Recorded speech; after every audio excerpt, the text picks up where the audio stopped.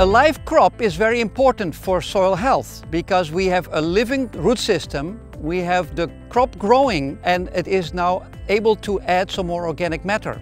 This field will have very limited soil erosion compared to a black soil.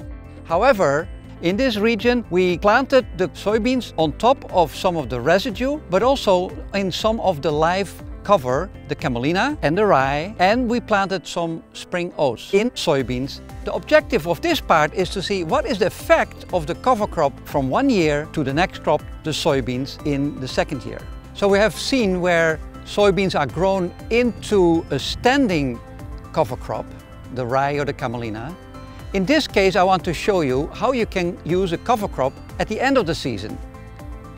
Behind me is a plot of soybeans and in those soybeans, in the rows, as soon as the lower leaves of the soybean starts to turn yellow, we can put in some rye or camelina. And the rye or the camelina can grow in the canopy. And then once the soybeans are harvested, there is ample light for the rye to continue growing late into the season and it will survive through the winter. And now we have a cover in the winter and it will start growing into the spring and we can grow another crop into either the rye or the camelina.